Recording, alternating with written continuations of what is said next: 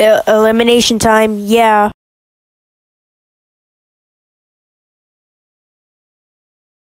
Vote someone to be eliminated. Voting ends in five days.